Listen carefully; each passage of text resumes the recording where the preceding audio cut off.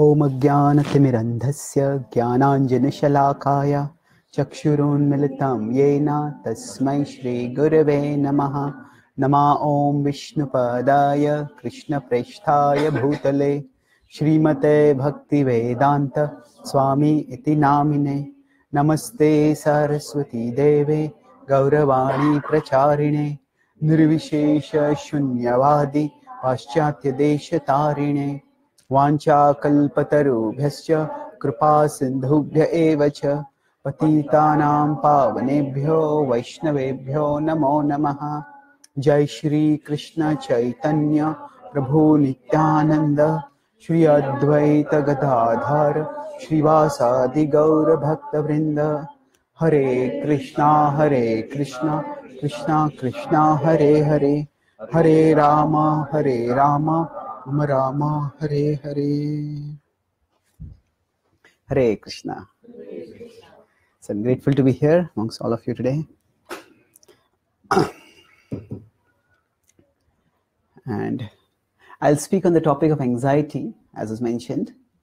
So I'll start with the question. I was just at one place, and this devotee, their son, he had been diagnosed with an anxiety disorder. So then I was talking with him about the situations in which he was used to feel nervous. And then we had a long discussion on it. So today I'll address specifically the topic Is anxiety a disorder? anxiety can sometimes be a disorder, but I look at it first from a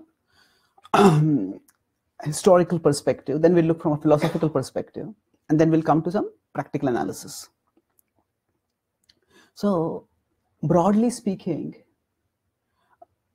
the history of modernization of the world is a history of gaining more and more control over things. So, today, we have comforts available which were unavailable even for kings a few hundred years ago. Air conditioning be an example. And the whole attempt of the search for knowledge through science and its application through technology is to get more and more control over situations, over our circumstances. And in many ways, that has had desirable effects. When it's too hot, we can cool the atmosphere, at least around us. When it's too cold, we can make it hot. So we have got some control. And this attempt to control things through human capacity has had an unwanted effect. And that is that we start expecting that we should be able to control things in general and when we are unable to control things, that disorients us. So, with respect to living in the world, there are always going to be things which are not in our control.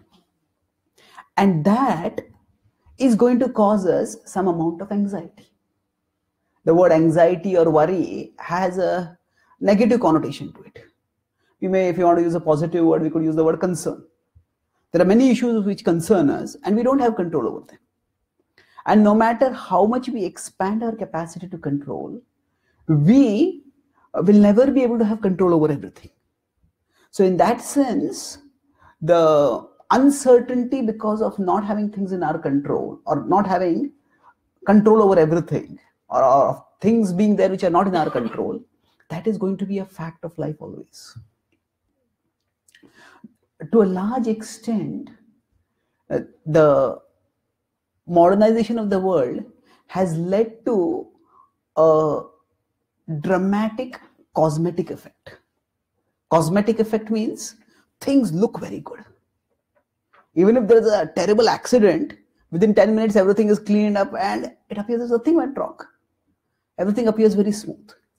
And this applies even to not just external situations, but also our internal emotions.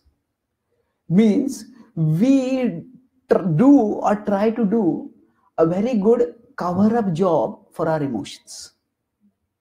So, so much so that in today's world, consider being anxious, being worried, While it is natural, it is considered if you have any negative feelings, if you feel lonely, if you feel depressed, if you feel unhappy, it's almost as if being unhappy is a defect in someone.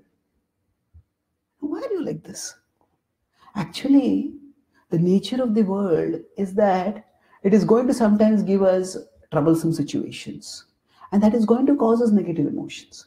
So, just as we can't control the weather out there, it's going to become cold, it's going to become cold. And some people have, say, bodies which become excessively cold, which respond excessively to cold. Now, if we tell, don't get worried. In some ways, it is like telling someone, don't feel cold. what do you mean, don't feel cold? I'm feeling cold. that cold is simply a biological reaction to the stimuli. In some people, it may be more, in some people, it may be less. But it is simply there in everyone to different degrees. Similarly, anxiety, which results because of life's uncertainty, it's a fact of life. It's going to be there in everyone. And when we talk about a situation, there's something in our control, something's out of our control. So, to the extent we focus on things out of our control, to that extent we are going to have anxiety. And when we are unable to control either external situations or internal emotions, because we have this conception that I am meant to be the controller, we just can't deal with it. There is a field of science and technology which is called transhumanism. Transhumanism says that humanity is afflicted by many sufferings. And they say, what are the sufferings? Old age, disease, death. They don't consider birth a suffering. Uh, of course, in some ways, they consider some births to be unwanted and they want to have more efficient ways of doing abortion.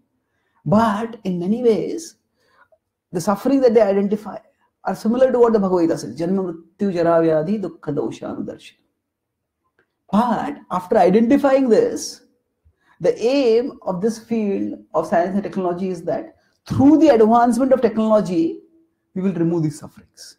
We'll remove disease, we'll remove old age, and we'll remove death.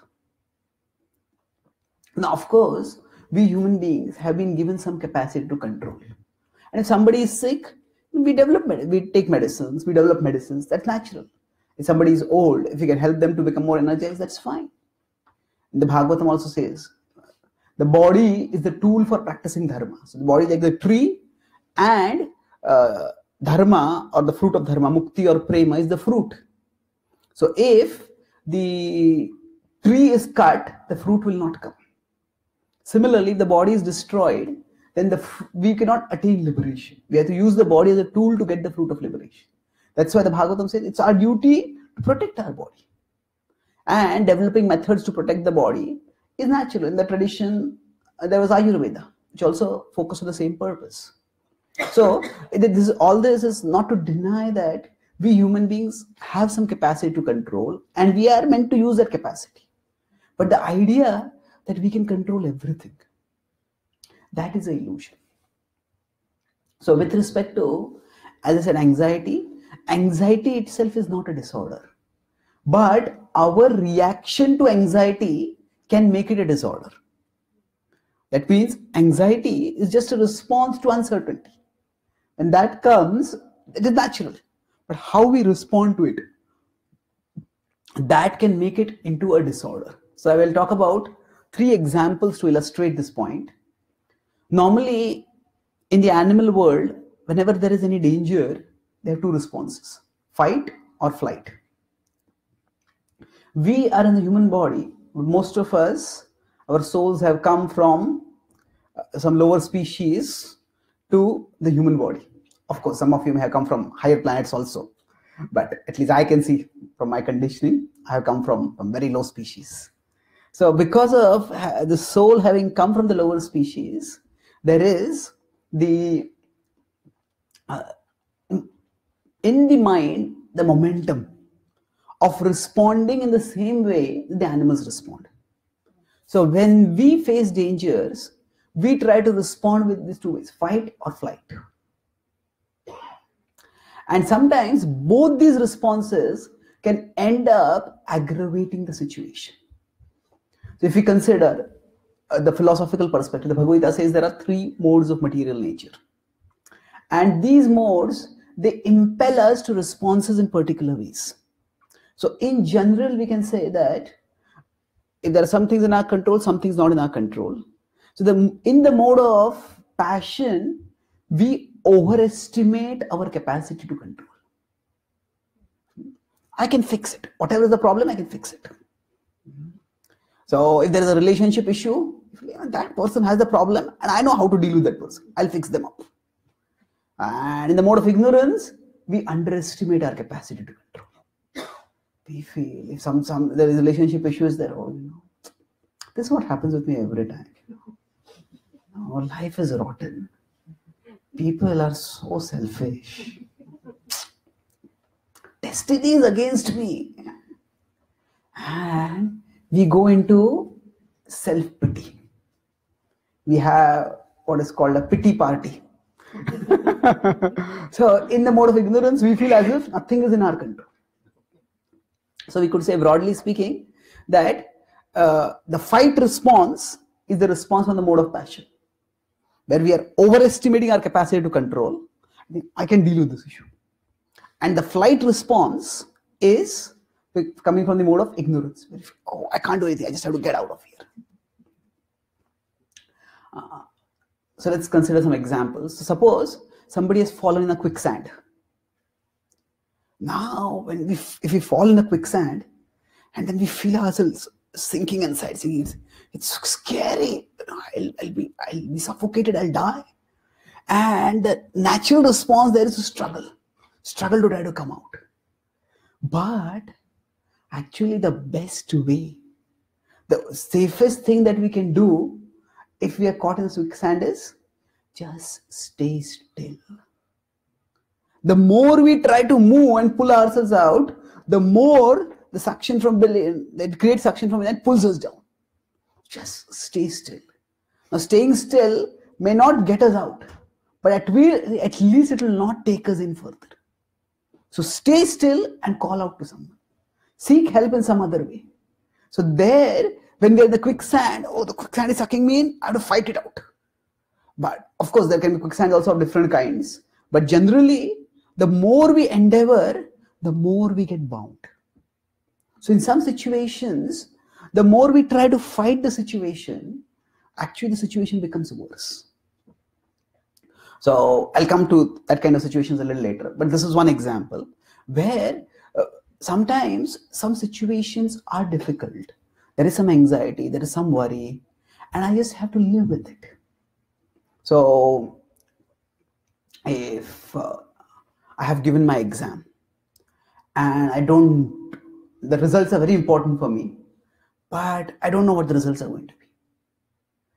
Now, if during that period I keep worrying, hey, what is the result going to be? What is the result going to be? What is the result going to be? Now, now, at that stage, I've already given the exam, it's over. There's nothing in my control. You keep trying to fight it. It's not going to help. There is anxiety. But so, avoiding the fight response means in some situations, you have to learn to live with the uncertainty. That uncertainty is not going to be infinite. But if at that time, in order to forget that, uh, some people just because they're already given the exam, but the anxiety is so much that they get into activities uh, they may just dive into sports dive into entertainment dive into if they have some other habit they may just start drinking so smoking or start taking drugs. So anxiety is a is in that situation just a fact of life. But to the extent we try to get rid of it to that extent it makes our life worse. Most often uh, when people uh, watch entertainment. Now, entertainment, it's it has always been a, a feature of human society, but the compulsiveness with which people go for entertainment now, it is unprecedented. Millions and millions of dollars people spend on. We may not say I don't spend millions of dollars, but people like us they keep spending, and that's how those who are entertainers they get uh, obscene amounts of money. So in India, there was a female boxer from Northeast, and she won some medals. And then Bollywood made a movie out of her life. Now, the actress who depicted her, just by depicting that movie, she made more money than what that boxer had made throughout her life. so, at one level, boxing itself is entertainment. People are watching sports for entertainment. But even that real life boxing is not as entertaining. So, when you depict it in the movie, the entertainment level becomes more and you get paid more for that. So when we are ready to pay so much, what does it indicate? It indicates that we feel the need for it so much. And most often when people get into entertainment, it's not because what they're watching is so entertaining or so enjoyable. It's just because life is so boring. So because we are unable to live with negative feelings, of any kind, whether it is worry or boredom or loneliness or annoyance, we just try to escape from that by going into entertainment. And that's why it becomes obsessive for some people. Now, of course, we can say entertainment is relatively inoffensive, but then when they get hooked to the entertainment, when it is not there, it becomes unbearable. So, uh, there was a survey done in um, America itself. You know, what are people's worst nightmares? So especially people who are in the youth group, you know, teenagers, their worst nightmare was being without the internet. One of their worst nightmares, you know, out, out the top is being without the. What will I do? So it's just become it's internet can be very useful for communicating and getting things done, but there's a dependence that happens which is quite damaging. Similarly, when people uh, smoke or drink, it is largely not that the drink is so attractive it is rather that they're not able to process the negative emotions that come because of life's negativities, and that becomes an escape way from that. So when that happens, then they may start drinking just to escape from this negative, but then the drinking itself becomes a negative afterwards. That attach, that makes them attached to it, addicted to it even. So the point I'm making is sometimes when negativities come in our life, sometimes anxieties come in our life, trying to fight that off actually worsens our situation. Like a person in the quicksand. Okay, I'm in the quicksand. Let me wait. Let me wait. Let me call out someone. Someone will come and pull me out. If I try to struggle and pull myself out, I'm only going to get sucked more. So, like that, some situations, anxieties are there and they will be there for some time and we just have to live with it. So, tams titiksha swabharata. Krishna says, tolerate it. So tolerance means don't have this fight response. Don't try to fight it off. We can't. It's interesting. Krishna actually equates matra sparshastu kaunteya shitoshna sukha dukkhadaha. So he's saying shita and ushna is similar to sukha and dukkha. That means just as when externally it is hot or cold, we can't do much about it. It is hot or cold. Similarly, sometimes positive feelings, sometimes negative feelings will come upon us. Tolerate it. I'll talk a little bit about how we can tolerate it. But the principle here is that the fight response may often makes us do things which degrade the quality of our life. Because we can't directly deal with the anxiety. So we try to do other things to, to deny the anxiety, to bury the anxiety. And then that leads to uh, us getting into unwanted habits, which waste our time, which degrade the quality of our life. The other response could be the, the in the mode of ignorance is flight response.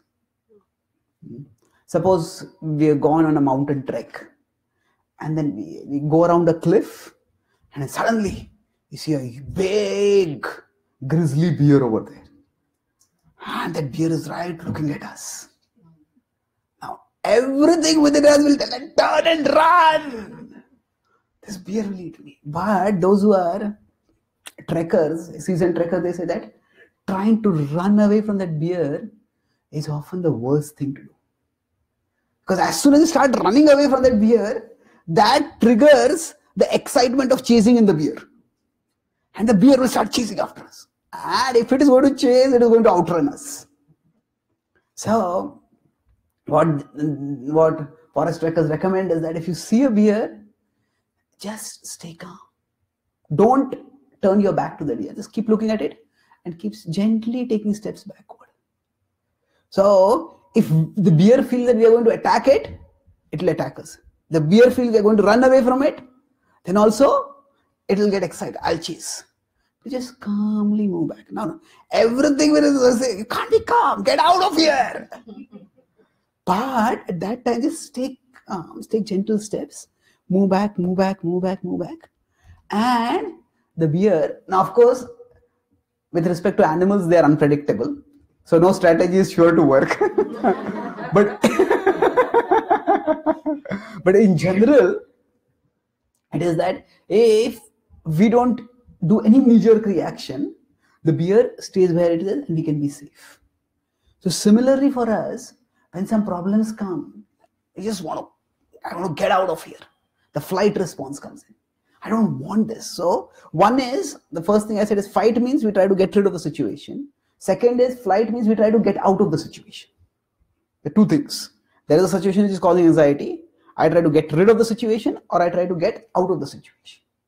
But sometimes in trying to get out of the situation, we make things worse.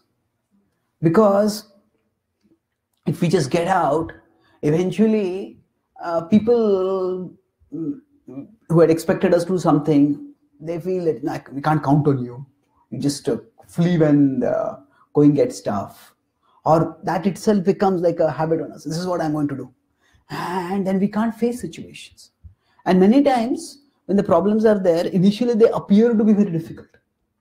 But if we stay and we try to deal with them, we, are, we find, okay, this is not unlivable. I can manage with this. So the flight response is trying to, is just get out of here. That is also anxiety driven. So what I said earlier, anxiety itself is not a disorder. But our response to anxiety can make it a disorder.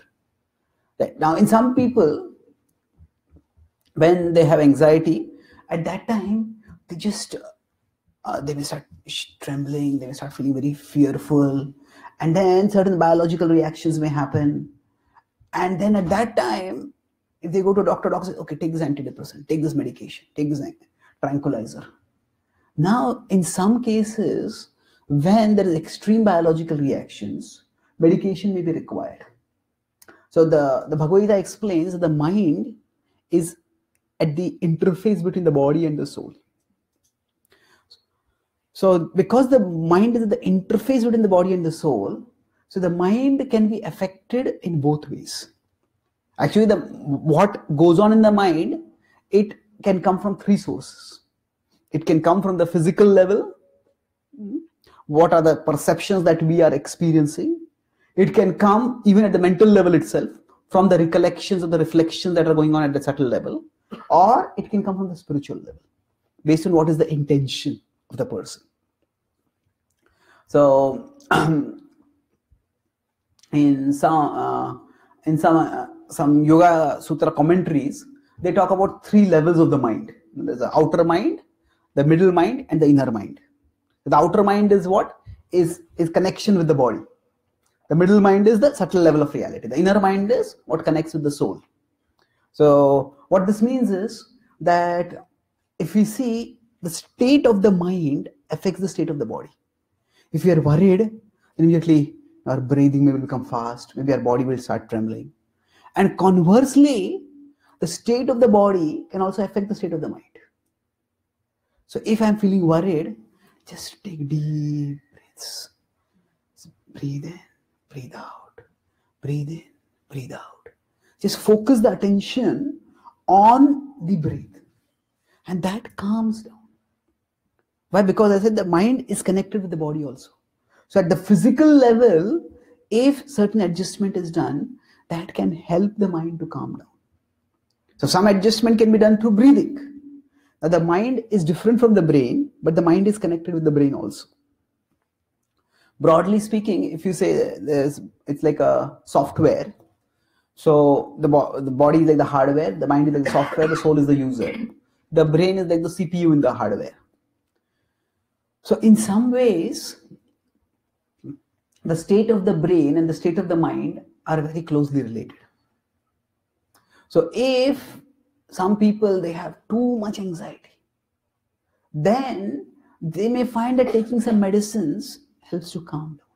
Because the physical and the mental are not unrelated. They are related.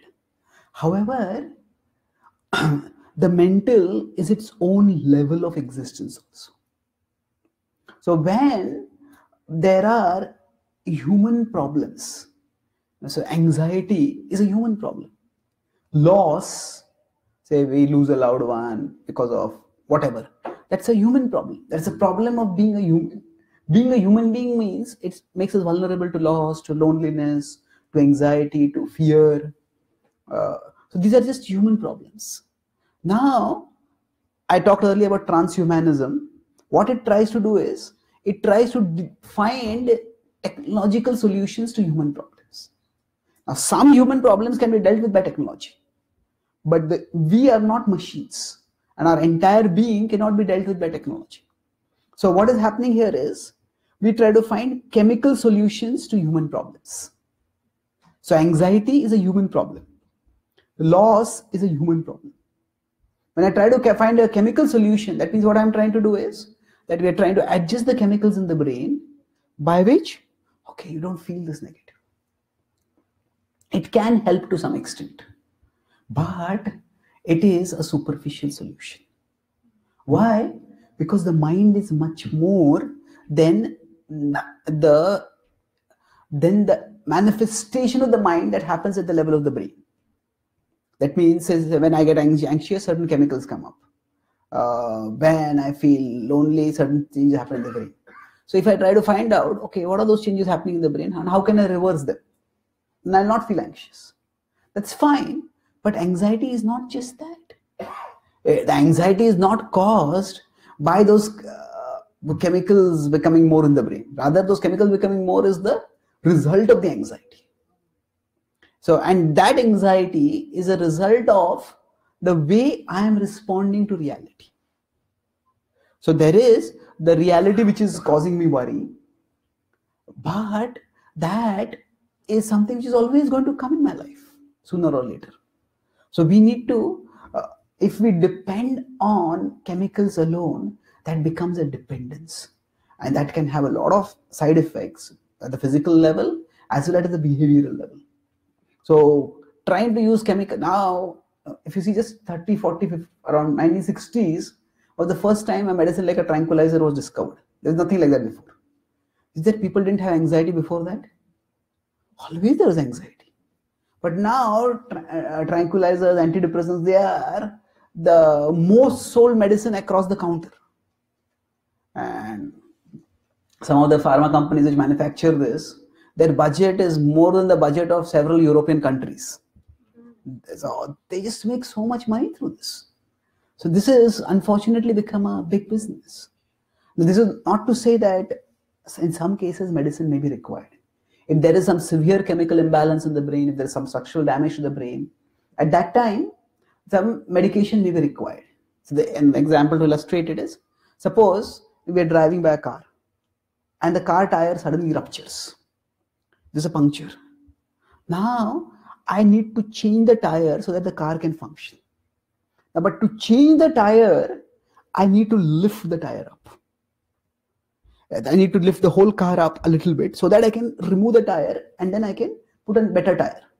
So similarly, in some cases, uh, when we are going through life, something happens and we just get punctured, get totally depressed. So when that happens, the if the car tire is punctured, it has to be replaced. So similarly, when we are habituated to negative thinking, uh, the negative thinking itself has to be changed. But sometimes it's like lifting the car up so that the tire can be changed. Uh, similarly, in some cases, medication can act like a jack, which lifts up the tire. So when a person is too depressed, they can't even think about changing their thinking. His mind is just going on and on and on, and this problem, that problem, this wrong, that wrong, just helpless. To some extent, when we go into tamoguna, in the mode of ignorance, just become helpless. So at that time, it may be required. But the purpose of the tire of the car is not to keep the uh, keep it on the jack. The purpose of the car is to move. And for moving, what we need is not to have a jack below the car, but we have to have change the tire. So similarly, in extreme situations, some people may need medications. But the, the solution is not just the medication. The solution is the changing the thinking. Changing the thinking means changing the way we respond to life's negativities, changing the way we respond to life's uncertainties. So there's no need to campaign against such medicines, but there's no need to uh, also think that these medicines alone are the solution. So what happens in today's world? It is, I said, anxiety. I said it can be a disorder. When we get too depressed, when you get too negative, and we're just not able to function at all. But it is very easy to classify anxiety as a disorder, and everybody is afflicted. And then the pharma companies make big money, and we feel good. But then after that, when we feel bad, we need more medicines. So there are some diseases which we take and we get cured, and they don't need the medicine. But anxiety, if you start taking medicines, then it's lifelong we'll have to keep taking medicines. So it becomes a dependence. So we need to, as I talked about this, the mind which interacts with the body, the mind itself, and the mind part of the mind that interacts with the soul. Because the outer mind, the middle mind, and the inner mind. So the outer mind, it can be dealt with in various ways. And there have been several studies which have found that the same effect that comes by tranquilizers, that can be got to some degrees by just breathing. Just pranayam, deep breathing, it calms the mind down. In fact, it's not, uh, I'll talk about breathing. Breathing is not just a physical exercise. Breathing, breathing can act at a mental level also in more ways than just uh, the physical aspect of it. But the point here is that the in some ways the physical level of reality is most accessible to us. Like recently, I was a program. I was asked one devotee asked the question. Now, when we are chanting, you know why why does our mind wander so much? Why are we so attentive during chanting? I said, actually, we are not chanting. You know, our tongue is chanting, the mind is wandering, and we are thinking what to do.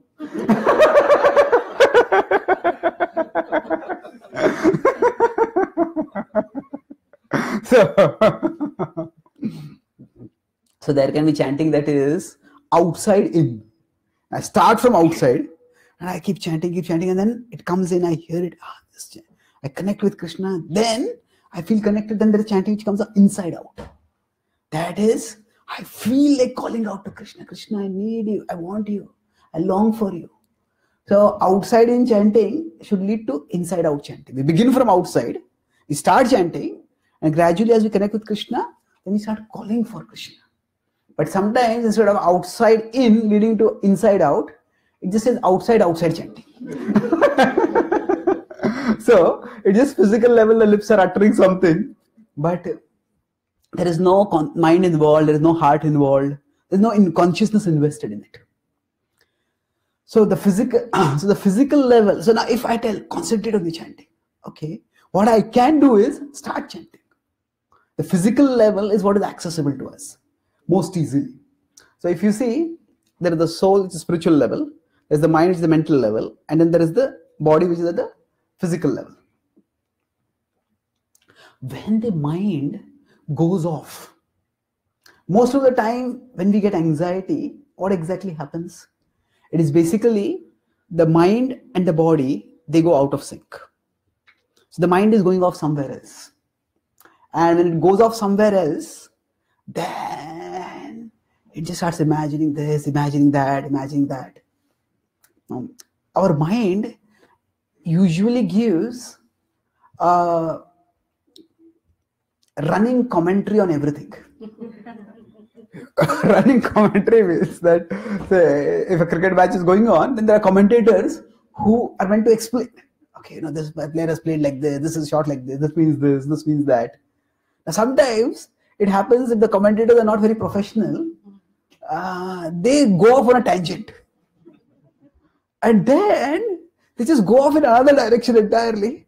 And then they're talking, you know, this happened in this match, and that happened in this match, and that happened. And what is happening in this match, they don't report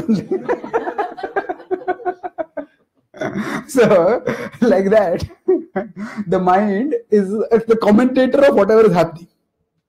So, uh, now while commenting on what it is happening, it's commenting can be so captivating. It need not be right, it need not be true, but it can be so captivating that we just get caught in the commentary and forget the reality. And uh, taking this further, normally in the cricket match, there are spectators and there are players. And the commentary is heard by the spectators. But suppose the commentary is heard by the players also.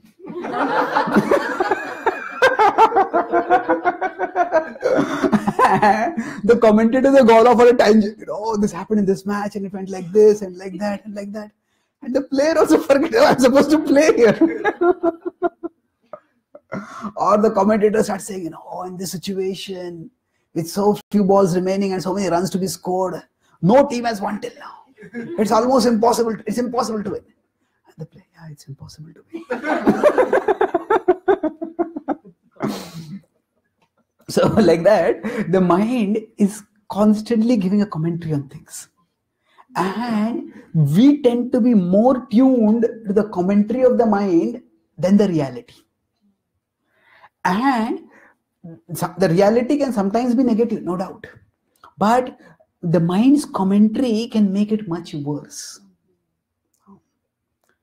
I go to office and then my boss gives me a strange look and then the mind starts getting comment, oh, your boss is going to fire you.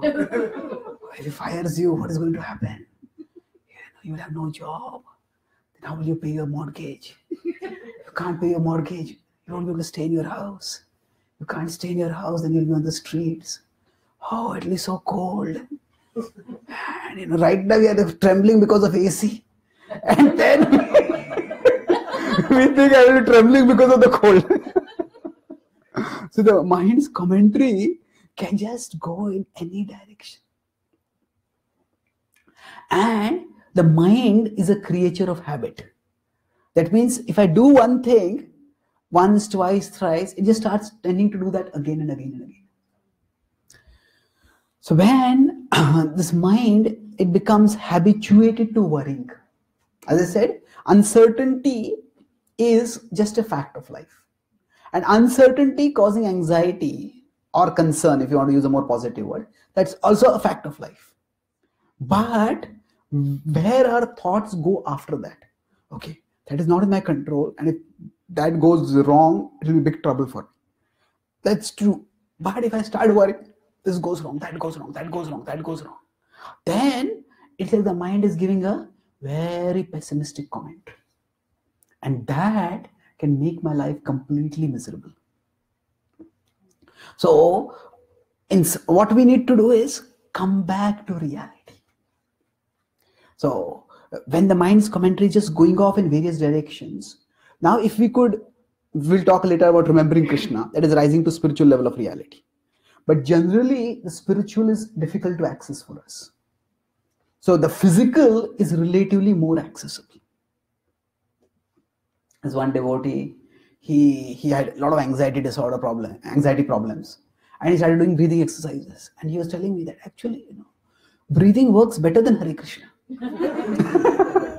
He says my anxiety is gone. I started breathing. So I'll talk about that. It's not that breathing works better than Hare Krishna but rather because we are at the physical level of consciousness. So at the physical level the relief can appear much more quickly. Basically uh, what is when we are getting worried and we break the train of worry we, if you have to stop worrying what do we need to do? We need to break the train train of thoughts which is going in the you could say the station of worry. So we want to break that train. We don't want to get onto that train. We want to get out. So now at the level of the mind there's running commentaries going on. Chanting hare krishna actually is meant to take us to the spiritual level. And if you can get to the spiritual level then that is the supreme relief from anxiety but because the spiritual level sometimes appears not easily accessible for us. So when we are chanting, actually we go neither to the physical level not, to, not to the, neither to the spiritual level, nor to the physical level. So the chanting that is meant to control the mind, often the chanting becomes a time when we surrender to the mind.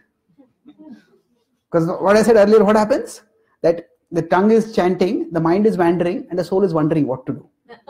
So now for the soul, the mind's commentary can appear so attractive that the soul goes along with the mind. So if our consciousness is going along with the mind wherever it is going, then actually we are not chanting. The, the tongue is chanting, but we are not involving our consciousness in chanting. So we could be relieved by chanting, but sometimes it's difficult to get our consciousness involved in chanting. So, so we could say chanting is like an elevator for our consciousness to take us from the physical level through the mental level to the spiritual level. So the elevator is going up, and say it's freezing cold at the ground level, and I go up, it's it's warm. Now the elevator is going up, but I don't go up only. I just stay outside the elevator and I power the elevator. Elevator goes up, comes down, goes up, comes down, goes up, comes down. then what happens in that case is that I don't get any relief. So when we don't get, we don't invest our consciousness in chanting, then it appears that chanting is not working. Then why does uh, uh, why does breathing seem to work? As explained, what happens when breathing? It's not just breathing. What what when people try to do breathing exercise, they also told that okay, concentrate on your breathing. Take the breathe in, breathe out. You know, breathe in. Take, see that your stomach is going inside, chest is going contracting, chest is expanding. So what happens when we try to do this consciously? The consciousness comes from the mental level to the physical level. And just getting the consciousness from the mental level to the physical level breaks the worry train of the mind. So that's why when we're chanting, we're not breaking the worry train, although we could break it in the most effective way. But when somebody is breathing, they're able to break it better. So it's not that chanting uh, doesn't work and breathing works, but at that particular point, we have to see what is going to break the train of thoughts of the mind. And in some ways, getting to the physical level is easier than getting to the spiritual level for us. So even during chanting, if we find that mind is wandering too much, pause, take a few deep breaths. Maybe if you're sitting, stand up and walk a little bit. Do some, get the consciousness back to the physical level. And I think, oh, I'm meant to chant right now. Okay, otherwise, you know, we are chanting, but we're not even aware we are chanting. So at least I become aware I'm chanting. Okay, I'm, chanting. I'm, I'm into chant. So then at the mind level, the consciousness will not wander. So the physical level is the way we can access, is the level which we can access the most. So, so now when we are trying to deal with anxiety, so the mind is what is causing us anxiety. So we can deal with it at the physical level, get the consciousness out of the mind I say, get out of your head. Don't be too much into your head. Get out. Do something practical. So, like that, we get out of our head, we get out of our thoughts to the physical level. That itself can help to deal with the anxiety. But again, that is not a permanent solution. Hmm. We have to, so all these are ways in which the tire is deflated, we raise it up. But beyond that, we need to change the way we think. Change the way we think means that we have to change the idea that we have to be in control of everything. Negative emotions are never pleasant, but they are a fact of life. And we need to accept it. Sometimes I may feel bored, sometimes I may feel lonely, sometimes I may feel depressed, sometimes I may feel hopeless. Sometimes these are all emotions which just come. Krishna in the Bhagavad Gita in the 14th chapter says that Become an observer of your emotions. Prakasham cha pravittim cha mohameva cha pandava nadveshti sampravrittani na nivrittani kankshati udasina vadasinam gunaryo na vichalyate gunavartantityeva yovatishtati nengate. So in 14.20 says that by the modes, different emotions will rise within the consciousness. So Just observe them. Udasina vadasina be like a detached observer. Okay, this emotion is coming, it will stay for some time, it will go. It will come, it will go. Now, suppose we go for a program or a meeting and there is someone whom we don't like. Now, if that person is there, what do I do? If I think I don't want to even look at the face of this person, then I can't be there at the meeting. I have to be there at the meeting. But just because that person is there doesn't mean I leave the meeting. Nor does it mean that if I, if I, if I don't get along with that person, if I have some issues, and that is not the time to deal with the issue. It's not that I had to go and confront that person at that time. I just focus on doing what I, I meant to do. Their presence is there, and I'll be aware of it, but I don't have to avoid it, nor do I have to focus on it. So Krishna says, Rag Dvesh Vimukta Avoid attachment and avoid aversion. This is not just to external sense objects. It can also be to internal emotions that arise within us. Don't be too attached to something. Don't be too averse to something. Okay, that emotion is there. It's present within us, but we don't have a focus on it. Now, what does it mean uh, that uh, emotion is there? See, our consciousness is capable of being aware of many things. So, right now, some of you may be feeling this place is too cold. Some of you may be feeling this is too warm. Now, if you're feeling this way, this is something which is there in the awareness. Now, we can choose whether I'm going to focus on this. Oh, it's so cold. It's so cold. What can I do? What can I do? I can't do. Maybe I need to get a sweater, or maybe I need to leave right now. Uh, we can just get too caught in that thought. Okay, it's cold. Maybe just uh, maybe it's not a long class. We'll be here for some time. Next time when I come for programs, I'll come prepared. And just put the thought behind. So what happens is we as human beings, we can't always control what comes in our consciousness. But we can control what is the focus of our consciousness. So many things will pop up in our consciousness. But we are capable of choosing what to focus on. Suppose we are, you know, we are making an important phone call with someone and there's somebody talking in the background. Now we may request them to stay silent, but if if it's just this noise that is there, it can't be removed. If we're traveling in a car or train and there's noise, then what do we do? We try to put it in the background by focusing. We focus, why is the sound there? We can't change that sound. So although that sound will be there, but we can choose what to focus on.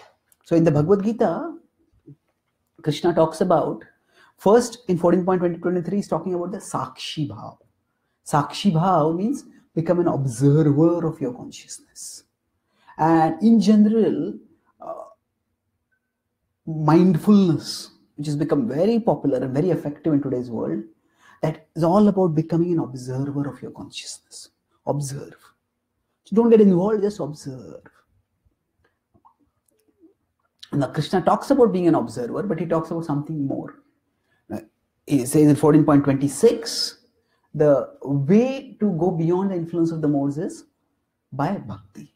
Mam chayo vyabicharena bhakti yogena sevate sagunan samatityaitan brahma bhuyaya kalpate.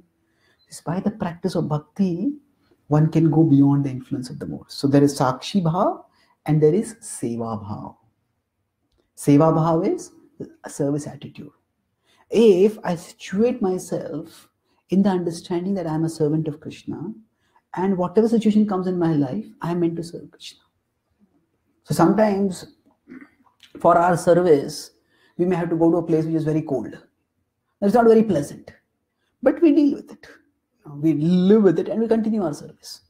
Similarly, sometimes some services may be such that they put us in situations which cause a lot of, lot of anxiety. So we don't focus on the anxiety, we focus on the service. Okay, I'm here to serve Krishna. And let me think how best I can serve Krishna. We don't deny the feel the fact that I'm worried, but we don't magnify it either. We accept it. As this service causes me anxiety. Now later on, I may decide whether this is a service which is important for me to do, whether somebody else can do it better, whether I can do some service better. There are situations where we can think about these things. But when we have to do a particular thing and the uh, negative emotion is unavoidable over there, just accept its presence. Accept its presence means that we don't let it become the focus of our consciousness. Our focus is on how can I serve Krishna. Now, sometimes if we uh, if we don't understand bhakti philosophy properly, then uh, the mind can actually aggravate our situation. So I feel worried. And the first the mind makes me worried, you know, you know, this can go wrong, that can go wrong, that can go wrong. You're spending so much time in your bhakti. You know, what if you don't do well in your studies? What if you don't do well in job? Things will go wrong. Mind makes us worried. And then after that, see, you call yourself a devotee, but you don't have any faith in Krishna. You're having so much worry. What kind of devotee are you? So, first I get worried, and then I become worried about being worried.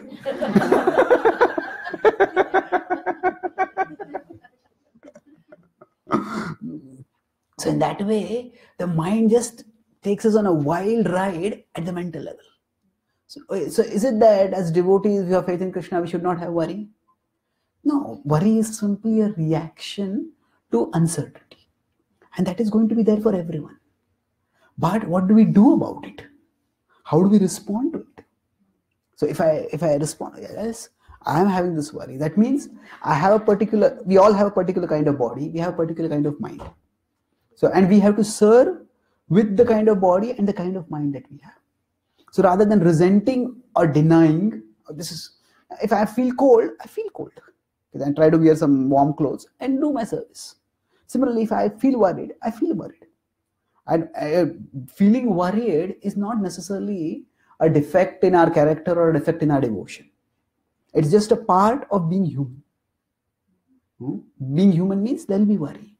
But what is in our power is what do we how do we respond to the worry?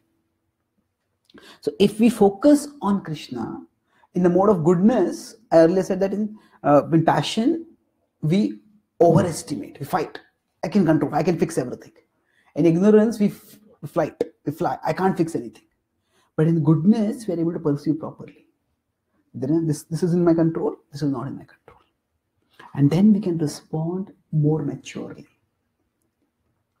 So if we focus on trying to serve Krishna, okay, in this situation, this is what has happened. This is the this, this is the emotion that I am having. How best can I serve Krishna? If I focus on that, then I can move forward steadily. So I'll conclude with one example. Uh, that is in 2.70, Krishna says that Apurimanamachala pratishtham samudramapah pravichanti yadvad tadvat kamayam pravishanti sarve sashantimapnoti nakamakami. He says that just as rivers flow into the ocean, similarly, various stimuli and the emotions associated with the stimuli, they'll flow into our consciousness.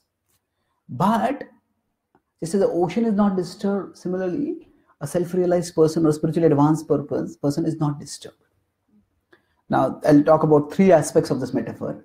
First is one word Krishna uses, na kama kami. It's a very interesting word. Kama kami. That means desirer of desire. So what does it mean, desirer of desire?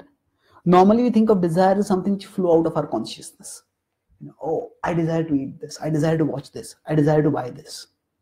But here, Krishna is comparing, comparing desires to rivers flowing into the ocean. That means desire is something flowing into our consciousness.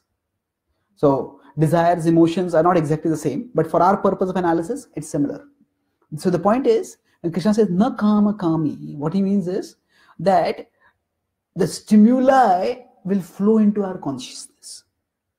And say if I'm sitting here and I start feeling cold, that stimuli is coming into my consciousness. But kama kami means I respond to the stimuli and get carried away by it. Oh, I'm feeling cold. What should I do? But nakama kami means the desire comes in, but we don't respond by desiring that object. It comes in, but we neglect it. We focus on something else. And so similarly, worry inducing situations may be there outside and they may send in the stimuli which causes us worry. But how do I respond? We don't focus on it.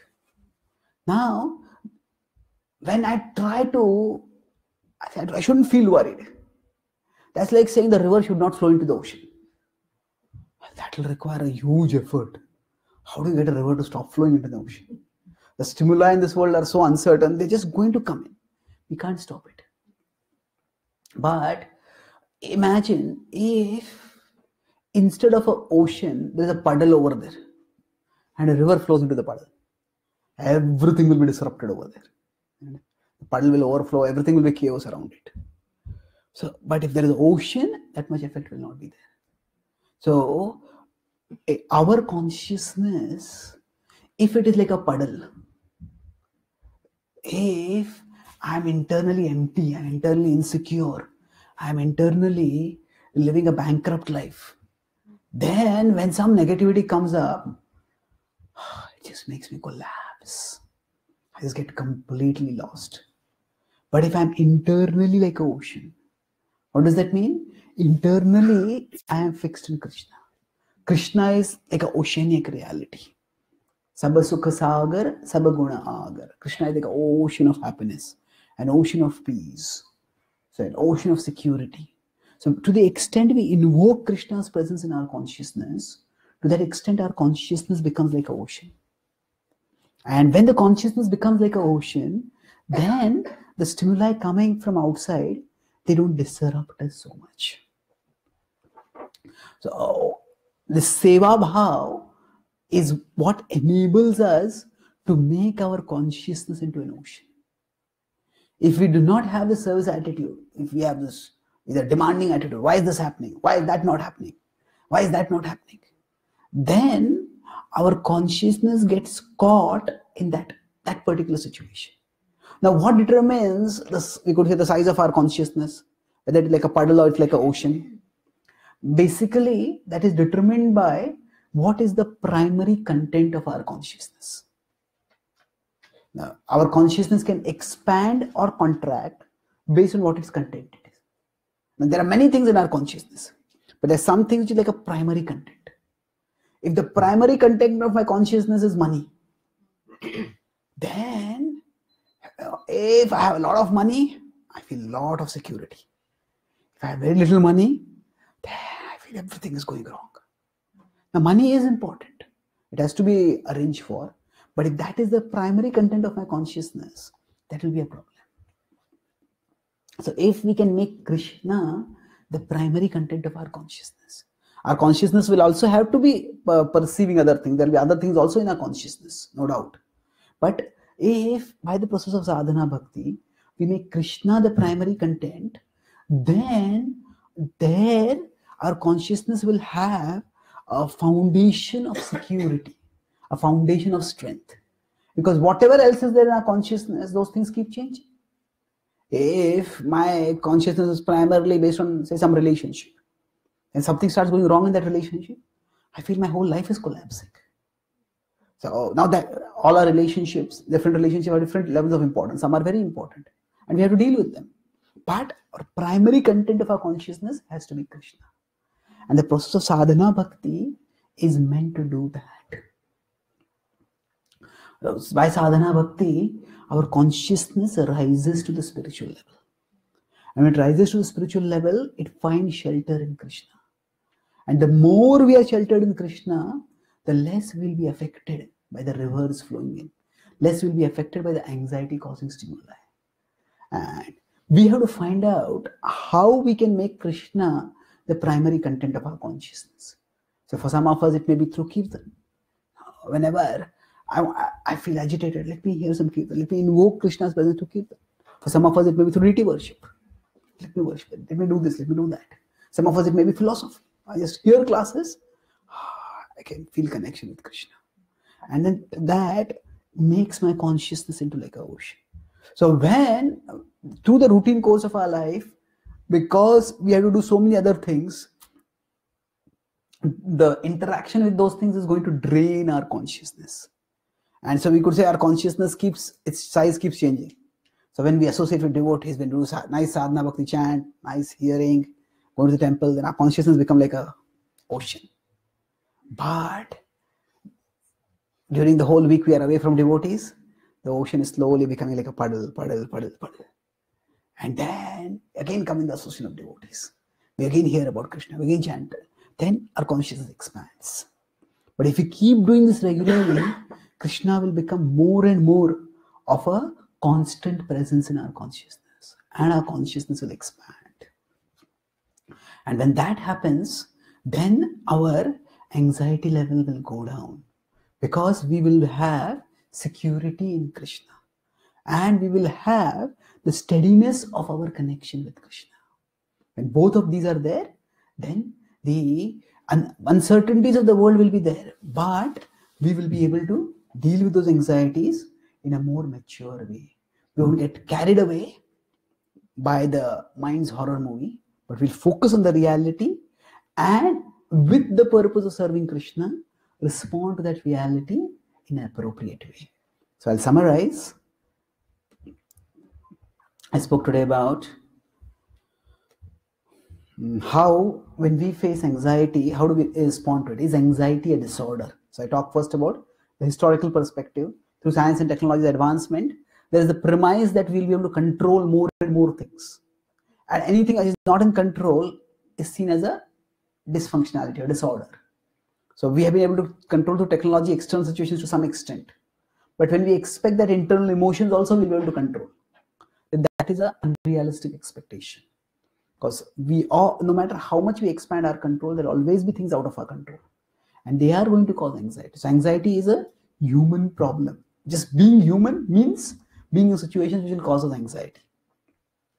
And the way to deal with it is by um, the, the, the transhumanism says that by technology you can deal with everything so if we take medication for this oh i feel anxious just take a medication get better that makes us dependent on it more and more. I talk about how the mind could be analyzed in three parts. The mind is like the interface between the soul and the body. So there is a part of the mind which connects with the soul, that is inner mind. The part of the soul, mind which connects with the body, that is the outer mind, and the central mind, which is the subtle level. So middle mind. So now uh, the changing of the things at the physical level can help us to calm the mind also. Like breathing, breathing accelerates when we are worried. You decelerate the breathing, or we'll become calmer. So similarly, some people may try to physically change the chemicals in the brain by taking some medicine, by which they try to decelerate the anxiety of the brain. That works, but that is temporary. That makes us addicted. So when we we as souls have come from the animal species to the human species, so we have the animal fight or flight response. The three modes of material nature in mode of passion we overestimate our capacity to control. When we fight i can do i can settle everything. And in the mode of ignorance we underestimate our capacity and we try to fly from it. And both are unhealthy. For the fight uh, response i talked about if you are caught in the quicksand fighting to get out will only cause us to sink so sometimes some situations we just can't do anything about it i have given my exam what the result is going to be i can't do anything just learn to live with the anxiety and for that, we need to have some higher focus. And the flight response is like if I see a teddy bear, I want to run away. Then I run away, it will chase after me. So sometimes the we don't want to think about some situation. And the more we try to not think about a situation, that comes more and more in our mind. Just dominates us. So instead of that, just calmly walk away from there. That means we have some higher purpose and we focus on that higher purpose. So some in some case extreme cases when a person is very depressed some medication may be required it's like if a car tire is punctured you need a jack to lift it up so that you can change the tire but the jack is not going to help the tire car to move it's the changing of the tire that is going to help it to move so similarly when people have extreme depression say a serious chemical imbalance or structural damage then some medication may be temporarily helpful but it will change the pattern of thinking changing a pattern of thinking means learning to not focus too much on what is not in our control. We focus on what is in our control. And I talked about why we practice the the mind is so sometimes it may appear say like breathing works more than chanting. It's, why does that happen? Appear like that because the mind is giving a running commentary on everything that is happening. So the soul is the spiritual level, and the mind in its commentary sometimes gets completely disconnected from reality.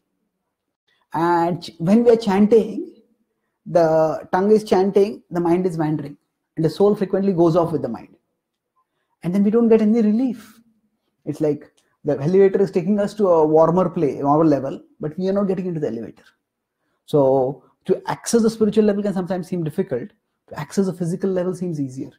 So breathing deeply and trying to become aware of the breathing also helps in cutting off or in breaking the train of thoughts in the mind which is causing us worry and that's how it appears to give us relief but we the but to get relief from worry just mm, just breaking the train of thoughts is not enough we need to change the way we think and that means changing the core content of our consciousness.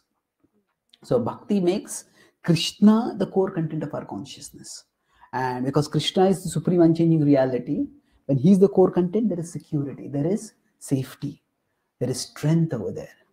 The rivers will flow into the oh, ocean, but they will not disturb. So if our consciousness is like an ocean, then anxiety inducing stimuli will flow in, but they won't disrupt us. They won't disturb us that much. And the process of sadhana bhakti, and specifically within sadhana bhakti, the activities that invoke Krishna's presence the most in our consciousness, if we do them regularly, then our consciousness will become like an ocean. And when the consciousness is like an ocean, then the life's uncertainties will not cause us so much anxiety. We will respond to them with greater maturity. And for us, the process of bhakti yoga is ultimately about first we use sakshi bhav to distance ourselves from the emotion. They are there, but I don't identify with them. But then we want seva bhav. I want to focus on serving Krishna. And that seva bhav will invoke Krishna's presence in our consciousness, and that's how we'll be able to go beyond anxiety. Thank you very much. Hare Krishna.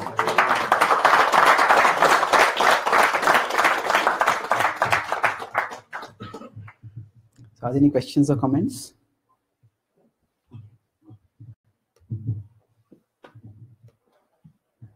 Could you just repeat the last few sentences, how to connect with Krishna a little more? um, Okay. Yeah. So, how to connect with Krishna? Uh, basically, each of us is an individual. As a soul, we are individual, and we have a particular kind of body and mind also. So, based on the kind of body mind we have, our consciousness tends to flow in a particular direction. If somebody is musically inclined, their consciousness flows in the direction of music very easily. Now, for philosophy, they can make their consciousness go there, but they have to push it, push it. But music, it naturally flows. If somebody else is more intellectual, their consciousness naturally flows towards philosophy. Oh, analysis, this is very good. But if you tell them to come and do some, maybe do some deity worship, oh, okay, I'll do it. But you know, they have, they have to push themselves to do it. So all of us are individuals. Yeah. So we have to look at which are the channels in our consciousness where our consciousness flows naturally. And then we can see where uh, that channel how, or how that channel can take us towards krishna. So that way when that channel is used to connect us with krishna then the connection with krishna becomes relatively easier. And once there is some connection with krishna through that activity then we can work at other activities also to connect with krishna because the connection with krishna gives us some strength some taste some satisfaction and then we can push ourselves and connect in other ways also so basically, uh, the finding the usual or default channels of our consciousness and seeing in which of those channels we can bring Krishna and then letting our consciousness go along those channels. That's the way we can invoke Krishna's presence. Answer your question? Thank you. Yes. ma'am. Hare Krishna, thank you for the class. Uh, so the title of the class, could you repeat? Is anxiety a disorder? And the answer was anxiety is not a disorder, but our response to anxiety can make it a disorder. Oh, okay. Okay, Yeah, so the, the title that I had heard was about turning anxiety Into intensity. And I was wondering about Okay. that part. Okay, so I basically address that in the sense that I said we become purposeful. The intensity is in two parts. The intensity is in terms of whether we become the observers very carefully. Hmm. We intensely observe our consciousness, sakshi bhav and seva bhav. Both are the ways in which you can develop intensity. So idea is that if I become a observer of my consciousness, alert observer, then when some emotions come up, I can ide- I can identify them and then I can distance myself from them. And if I have an intense service attitude, it's like you're intensely concentrating on something, then even if many other things are happening, we don't focus on them. So, like that, within our consciousness, there may be anxiety, but if we focus on the service to Krishna, that intensity will enable us to distance ourselves from other stimuli that are present within our consciousness. Okay, thank you. Yes, bro. Thank you for a very wonderful class. I just have two, two, one comment and one question. Uh, the so there are two, you know, very classic landmark books that have been written by Robert Whitaker. He's an award-winning American journalist. and He's written a book called uh, The Anatomy of an Epidemic. And the second book that he's written is called Mad in America. These two books, you know, highlight the the problem of mental health, the problem of anxiety and depression, the rise of antidepressants, you know, the the problems of overuse of these things, and and he summarizes, you know, in quite you know elaborate ways these two things. So it's quite an interesting read to read, you know, these things. His name is Robert Whitaker. The second comment I have, Maharaj, is this: in in the physical world, in biological sciences, in social sciences, in in uh, mathematical, statistical sciences, in medical sciences, there is also a very sincere attempt. Actually, let me put it this way: a very sincere and a humble attempt to understand the nature of reality. And sometimes they may not be using the same terminology of or the same processes of, of bhakti, of of seva, of uh, you know, because they're not coming from those traditions. But yes, there is a very simple, you know, there is a very honest and a sincere uh, effort in, in all of these endeavors of, of human Yeah.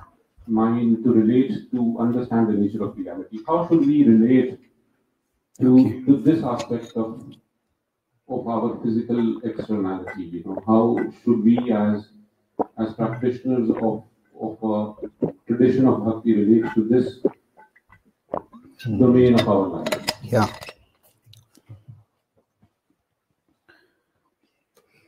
So, in the realm of science and technology, also there is a sincere and humble attempt to understand the nature of reality. How should we bhakti practitioners relate with this? Yes, Srila Prabhupada, in one conversation on Venice Beach in LA, says that we are not against mm, scientists' attempt to inquire about reality. We are against their atheism. Now, it is not that all scientists are atheists, nor is it that necessarily science leads to atheism. But science currently works with a particular methodology. And that methodology usually doesn't bring God into the picture. That we could call that methodology as uh, naturalism. That means um, the last year when I was going to um, uh, England, I had gone to Cambridge University to speak over there. So we passed by the tree where Newton is said to have seen the fruit falling or felt the fruit falling, depending on which version of the story we take up. Anyway, so now Newton believed in the existence of God. But when he wanted to know what made this fruit fall, at that time he was not looking for God as an explanation. He was looking for some material mechanism to explain that. So he, of course, attributed that material mechanism to God, but that's secondary. At that time, he was looking for a material mechanism. And then whatever material mechanism he found out, he called it gravity. And that is within the human scale of observation, it does work at the microscopic level. It may not work, quantum physics is required. But the point which I'm making is from that point onwards, science, when it starts looking for explanations for natural cause, natural phenomena, it looks for natural causes. Hmm. And if there is anything beyond nature, science doesn't look for that. There could be that cause. Like Newton, he, his idea was, okay, where does this law of gravity come from? Okay, it's arranged by God. In fact, he considered his scientific discoveries to be equivalent to spiritual insights. He said that, Oh Father, I think thy thoughts after thee. That means he saw that, okay, this law of gravity is arranged by God. This is the mechanism, and I'm seeing it, understanding it. So then here is the material phenomena that we observe and the material mechanism that we uh, try to discern, which is causing that phenomena. So now science focuses on these two things. Now, what caused the material mechanism itself? That is a question which usually science doesn't discuss. Every uh, uh, Paul Davies is a prominent scientist. He's written in the book in which he says that the scientists begin with the faith. It's almost a religious-like faith that nature operates according to laws. Now, why does nature operate according to laws? Why should nature operate according to laws? There is no, if you just look at the materialistic worldview, in science, they treat it like an axiom that nature operates according to laws. In fact, Einstein said that one of the quotes attributed to him is that uh, the most incomprehensible thing about the universe is that it is comprehensible. what does that mean? It means if we consider that everything is a result of unguided natural processes, then our brain is a result of an unguided natural process. The universe out there is a result of an unguided natural process. Now, why should the universe out there have act according to certain laws? Why should the human brain in here be capable of analyzing certain laws? And why should there be a correlation between the two? It's um, I find suppose I find um, suppose I'm I find myself lost. I wake up and I, don't know where I am, and then a, just a leaf flutters in over there, and I find that on that paper something is leaf paper leaf something is written over there. I look at it and it's written in a language, a script that I know, and it's also a message that makes sense to me. It tells me go there and you will get back home. Now there are three things over there. First of all, that paper fluttering in over there at that time, my being able to uh, know the language in which that what, what is written on that paper, uh, and thirdly, that paper having a message that I understand. So these three things. Similarly, if you consider nature following certain laws is like that paper fluttering in. Hmm? Our knowing that language is like the human being brain being capable of say analyzing mathematics. And third is nature functioning according to the laws which we human brains can, can understand. So this is a remarkable correlation. And why is it like this? This is something which science doesn't have answers for. So science explains nature, but the explainability of nature requires an explanation. Why is nature explainable by science? That requires an explanation that science doesn't have. So if we consider there are natural phenomena and there are natural causes, or um, by natural I mean material or mechanical. So science looks at these two things. Now, why are these material phenomena causes, but mechanisms there which causes phenomena? That science doesn't look at. But there are scientists who claim that science can answer all questions. That is actually not science, that is scientism. This is imperialism of science extended to all domains of knowledge. Science plus imperialism becomes scientism. So, scientism is what becomes a problem. When you said that there's a, there's a sincere attempt to understand the nature of reality, that's definitely true. There are many scientists who are uh, very industriously trying to understand how nature works. But the way scientific, scientific methodology works right now is that they look for material mechanisms to explain material phenomena. And that's perfectly fine. But there are many atheists who misappropriate the power and prestige of science to prop up their own ideology. Because science doesn't talk of anything beyond the material mechanisms, for they say there's nothing beyond the material mechanisms. And so that leads to atheism. That means there's nothing beyond matter. So when science becomes misappropriated to foist atheism on people in the name of science, that is when it becomes a serious problem. So there are, of course, some scientists who acknowledge that there will be something non-material also, and we need to explore that. But that is a minority branch, especially because of quantum physics to some extent consciousness is being recognized as a fundamental reality. But that is not still mainstream. There is a very very uh, vehement attempt to try to reduce consciousness down to a material level also.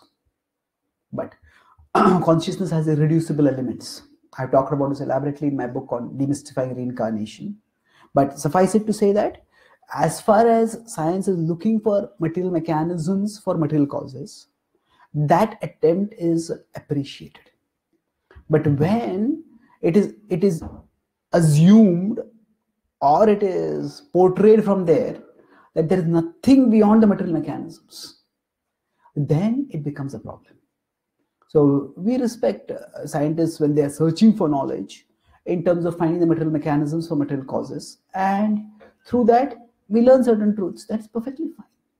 But it's when they when they make claims which go beyond the domain of knowledge. That is where it becomes a problem. Does that answer your question? Yes. Thank you. Thank you. Hare Krishna. Yes. Electro. Wow. The question and answers were so technical and scientific, it went, most of it went over my head. Um, but I'll ask a simple version of that question. So, in your talk, you mentioned one scenario where one person, I don't know if that was an example or a real scenario, that one person said that he thought that chanting Hare Krishna was not helping that person, but uh, breathing Hmm, uh, correct, yeah. helping. So you broke that down in three parts. That mind is easier to be brought down on the physical level Hmm. than the spiritual level. Yeah. So um, it sounds to me like uh, that person has lost faith in Okay. uh, chanting. And Okay. Yeah. How do you? Good question. Actually, it's a very important point. So, is it that uh, if somebody says chant breathing works better than chanting Hare Krishna, does that mean they lost faith in chanting? And how do we understand this? No, the two can serve two different purposes. There is pacification of the mind and there is purification of the mind. Pacification means when something, some agitating stimuli is coming in, make it peaceful, make it peaceful. So, as far as pacification of the mind is concerned, breathing can work well. Even if I say go to a natural place, a scenic place, look at the mountain, look at the sky, look at the river, I can feel peaceful. That's pacification. So, purification refers to purging the mind of the forces that make it agitated. So, if, as long as there's lust, there's anger, there is greed, there is envy, there is selfishness, ultimately, there is self centered materialism, there is going to be agitation.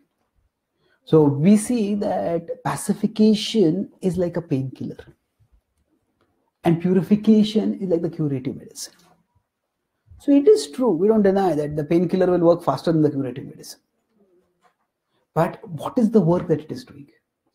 The work is simply removing the pain. The work is not curing the disease. So if we understand their jurisdiction, that's fine. And in bhakti also, we will say that, as I said, the idea of getting out of the head and getting into the physical level. Bhakti is actually very practical activities. Now we do we do cooking, we do deity worship, we do distribution, we do program teaching and all those. The practical activities in which we get involved. And that engagement also purifies us. So the that means the answer has two parts that getting the consciousness at the physical level can pacify it.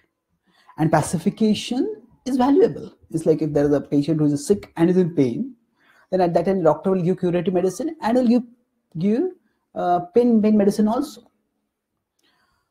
So similarly if somebody has a lot of anxiety doing some breathing to calm oneself down is perfectly fine. But if one starts thinking the painkiller is all i need to be cured then one is not understanding what exactly the problem is. Yeah, Sorry, I actually was not. I didn't finish my question. yeah, okay. The last part of the question was how would you give, like, what assurance you will give that chanting will is actually eventually. That's what I'm saying. How will chanting work? So that's purification. That means, yes, anxiety comes in and I breathe in, breathe out, and feel calm. But again, some anxiety is going to come in. Again, some anxiety is going to come in. As long as my thought pattern is not changing, ultimately, for a devotee, it is anxiety is dealt with by spiritualization of consciousness. When I understand that things out of control are ultimately in Krishna's control. The things that are in my control are also it is because Krishna has given me the ability to control. So in this way, the whole gamut of the situation, a devotee connects with Krishna. So whatever is in my control, Krishna is giving me that ability, and I will use that ability to the best of my capacity. I'm not doing this in a mood of independent controllership. I am doing this in a mood of service to Krishna, using the abilities He has given me. And the things that are not in my control, that is in Krishna's control. And Krishna will bring the will the, bring good out of it eventually. So we have to have the understanding that actually bhakti is going to purge the mind of the attachment that make us agitated, of the contamination that make us agitated. So the pain medicine and the curative medicine can go, go together. If only when the pain medicine is seen as a substitute for the curative medicine, as alternative, then it becomes a problem. So we all, if our mind gets agitated, we may all find particular ways in which we calm our mind down. Some of us may just chant Hare Krishna.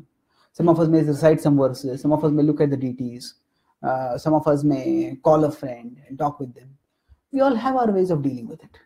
So we accept that the process of bhakti yoga is the ultimate process.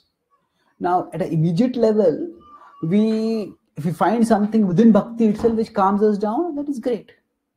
If kirtans calm me down, that's great. If reciting verses calms me down, that's great. If that doesn't work, that just means that my particular my body mind have a conditioning which I need to work, I need to address in a particular way. So sometimes for the same disease, different people may have different kinds of pains and they may need different kinds of pain medicines. So the important thing is not which pain medicine a person is taking. The important thing is whether the person is taking the curative medicine. Hmm. That answer your question? Okay. Yes, Mataji. So how much time? We- We have time? Couple more. Okay, fine. Yeah. Hmm. Thank you, Prabhuji. Wonderful talk. Um, I'm not sure which verse uh, this is, but Prabhupada writes in the purport, a person in full Krishna consciousness is a Saragrahi. He can see the crux of a particular situation. Mm. And many times when we are overwhelmed by anxiety, we cannot see the crux of that particular situation. Mm. And we find sometimes that um, the solution to whatever problem we're dealing with comes randomly two days later when we're doing something else. That's because our life is so fast paced that most of our time is spent either in performing, doing whatever it takes to rectify the situation, or thinking to come up with a solution. But not enough time is spent in reflecting. Mm. And that reflection comes only when we connect with Krishna. To, to uh, like he Hmm. said, stop that train of thoughts to say, let that nightmarish situation happen. If that is Krishna's will, let that situation happen. I'll figure out a way to serve him even in that. Let Mm. that happen, but let me put that aside. Okay, how am I going to solve this now? to, to Mm. be able to think in that way, that I think is critical to, like you said, get out of your head to come up with a solution. Mm. So we really need to spend that time in reflection, and only in that creative source is when true lasting solutions will come. Mm. That's just one Yeah. comment to be able to see things as Yeah. are. I mean, sometimes we are facing anxiety and suddenly a random idea comes in which helps us to deal with the problem. Yeah, actually, I talk about a spiritual level. At the spiritual level, there is a soul and there is the super soul. So many times the super soul gives us ideas. You can in you call it inspiration, intuition, whatever be the word we use for it. But that can come at any time. So in general, for devotees, when we connect with Krishna, it is not just so that we get security over there, but we also get intelligence from there. And when we are too much caught in the mode of either doing things or thinking what to do, then our focus is not on Krishna. We are not receptive to Krishna. So there is there is are two aspects in our bhakti. One is uh, taking initiative to do things, and second is having being receptive to Krishna to get ideas of what to do, to to to see what he is he that he wants us to do, and both are distinct modes of bhakti. And both are both can be bhakti. The Bhag- in the Bhagavad Gita, Krishna, when he complete speaking, Arjuna says, "Karishye vachanam tava." I will do your will. Uh, in the Bible, towards the end, Jesus says that, "Let Thy will be done." So here Krishna is saying, I will do your will. There is saying, let thy will be done. So we could say that there are two distinct aspects. You know, in that situation, the context was that Jesus knew had a some sense that next day he was going to be poisoned. So he said that, "Oh God, let the cup pass, but let thy will be done, not mine." So that means, with respect to things that are in our control, we take initiative. But with respect to things that are not in our control, we leave it to Krishna. And then what to do about that? Are we to do anything, not do anything? Or we might have something which we can do, we don't know. So having that receptivity is very important. So in general, in bhakti, the way we focus on is we do our sadhana bhakti diligently.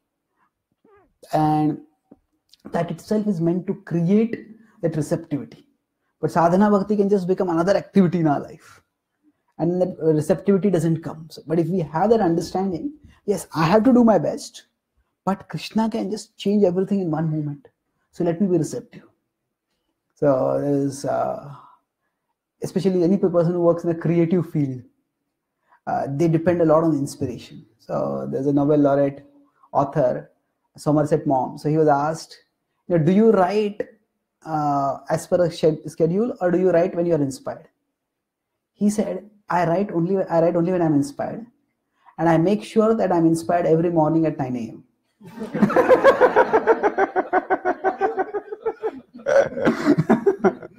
so what that means is that you know we need to have our discipline that i have to do my part but some days if i'm writing i might just i write and just thoughts just flow and so many ideas come so many things work. Some days just don't work.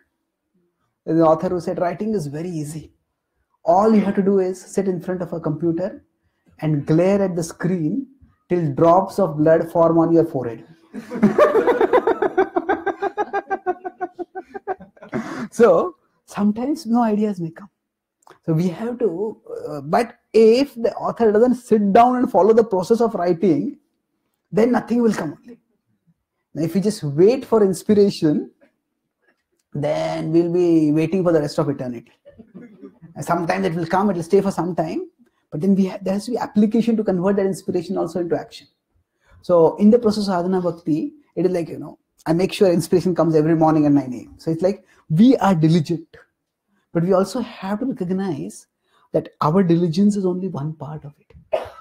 We diligently do the activities which invoke krishna's presence but krishna is swarat he's independent. I was talking about making our consciousness into an ocean. So we do the activities which make the which will invoke krishna's presence. And we do them taking initiative with consistency. But krishna is independent. And one day it may uh, his presence may manifest another day it may not manifest. So we have to while being diligent also remember that the krishna factor is not something which i can control. But krishna factor can manifest at any moment and if i keep that receptivity then i will find that uh, we will have uh, suddenly ideas coming up which will oh this, this is like this. I didn't know this. So we have to have both the diligence to keep doing our part and the receptivity to can understand what Krishna is conveying to us. Okay, thank you. yes Krishna. Yes, Prabhu. One. Yeah. But I really want to thank you, Babu. So what a wonderful night today. So so enlightening. I need to hear this lecture a few more times uh, because right at one point I want to, but it's too too difficult to capture everything in this one hour. But my question, you can't kind of address it with her, but I just want to ask anyway. So you gave the flight and uh, flight. analogy, compare that to mode of goodness or some more of passion and ignorance. So when it comes to mode of goodness, so on the line of goodness where we observe and do the things, like you know, hmm. or take it back step and observe, take it, let let like you know cool down, calm down, and do it. However, where to draw the line procrastination and the laziness? But on the name of it, laziness and procrastination, yeah, I know, I'll do it. Things may happen. Krishna did not give the chance, or did not did not give you the permission yet. Maybe when he says, "I'll do it," So we hear both of them. So where do you draw the line mode of goodness and or the laziness with the procrastination? Okay, yeah. So yeah, so how do we draw the line between mode of goodness, which involves stepping back and analyzing, and mode of you could say ignorance, where we're just lazy, doing nothing. Yes, actually, the mode of goodness and mode of ignorance appear very similar externally.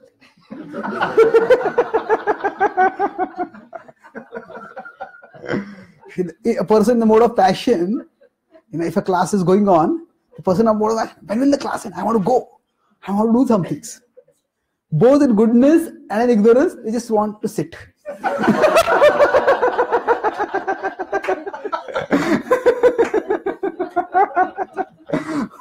but in goodness, the person is sitting and hearing. The person in ignorance in the good is either sitting and sleeping or sitting and just letting the mind wander. so basically, if you consider that the two aspects, there is there is the external action and there is the internal contemplation. Mm. So we say that in goodness, first there is contemplation and then there is action. Mm. In ignorance, there is first action and then contemplation. So it says some people speak to express their thoughts, and some people speak to discover their thoughts.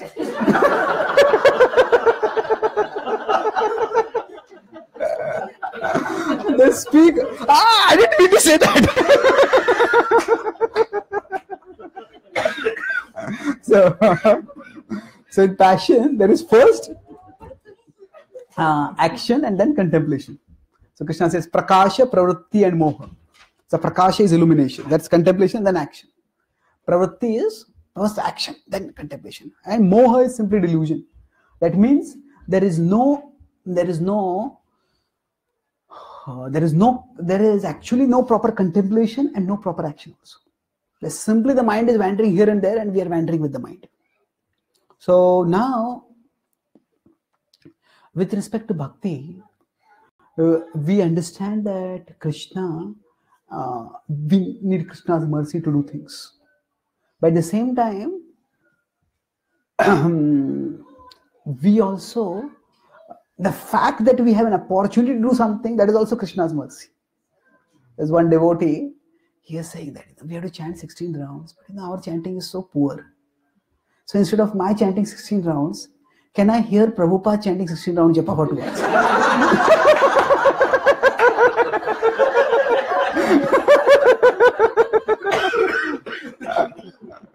now, you know, now Prabhu, Prabhupada established the whole Krishna consciousness movement for us. At least we should chant. so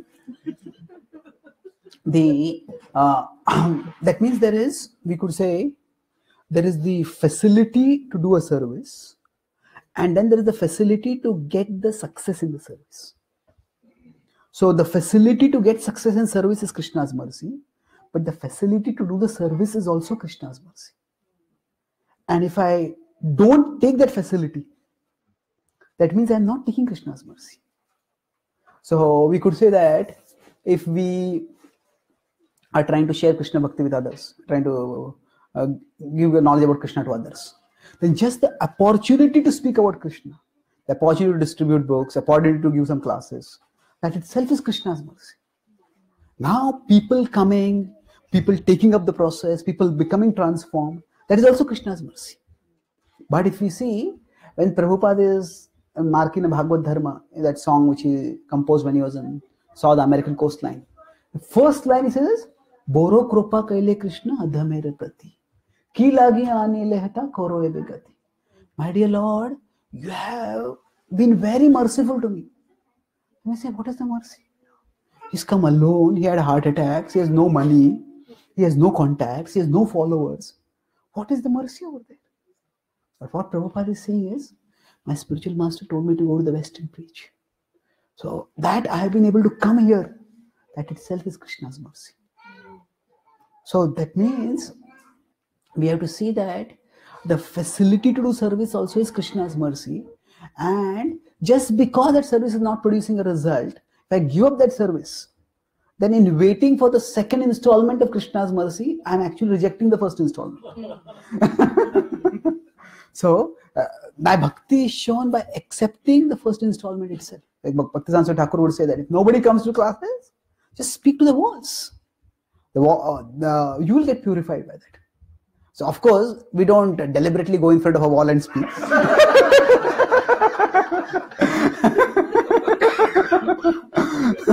we do try to uh, make sure that people come for the programs. But the principle here is that, that just speaking about Krishna is purifying for us itself. And of course, we would like others to get purified. We try to do that also. So, in general, the uh, the idea if saying that I'm dependent on Krishna is making us apathetic or lethargic about doing our service itself, then that means that is not the mode of goodness. That is actually the mode of ignorance, that is lethargy. But when I'm doing the service, what I can in my situation, and I understand that, okay, maybe in future situation changes, I'll be able to do more service. Or in future situation changes, the same service may give more results. That is Krishna's mercy. So, in general, there has to be a combination of thinking and acting. Because bhakti works both ways. It works at the internal level, it also works at the external level. Sometimes uh, we think our way to devotional actions. Sometimes we act our way to devotional feelings or devotional thoughts. Sometimes I just don't feel like chanting. I read some quote, I hear read some shloka, I hear some class, and I start getting myself into chanting. So I think my way to devotional actions. Sometimes I just start, uh, I sometimes I start chanting, and then I start chanting, then I start connecting. So I act my way to devotional emotions. Then I start feeling connected with Krishna. so we have to work both ways. That's why for us as devotees, if we uh, say that I'm dependent on Krishna, uh, then and that's why I'm not doing this right now, then that is that could very well be simply lethargy. Because I have to connect with Krishna in the situation I am in right now. And if I'm not doing that, then I, I am not actually being connected with Krishna at all. Like some people say that, that, you know, you tell them, please come to the temple. Says, "जब भगवान बुलाएंगे तब आएंगे. oh, when God calls me, I'll come. You know, there was Krishna has called 5,000 years ago already. सर्वधर्मान परित्यज्य मामेकम शरणम भजे surrender to me krishna has said another way to understand is that actually krishna is calling us through his devotee so if this devotee is telling us then that means it's krishna only who's guiding that devotee so basically the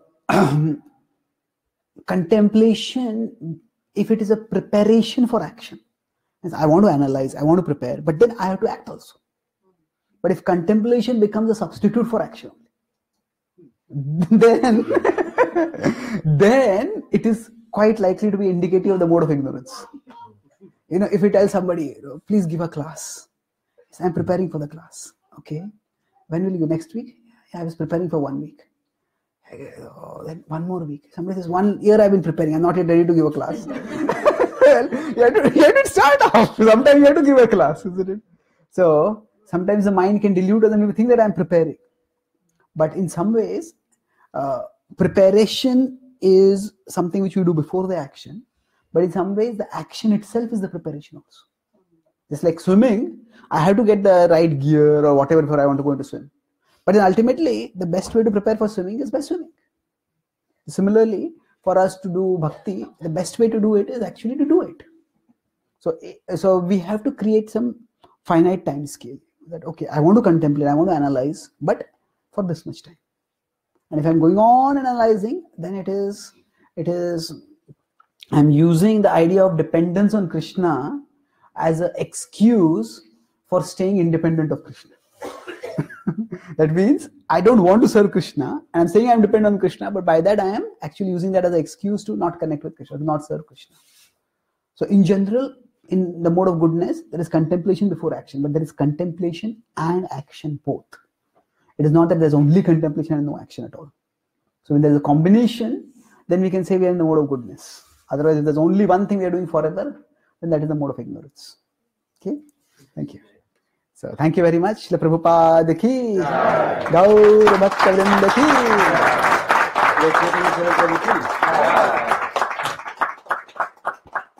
Is going to speak at the Sunday Feast tomorrow at ISKCON Columbus Center. And uh, the topic for tomorrow is from state of the art to state of the heart.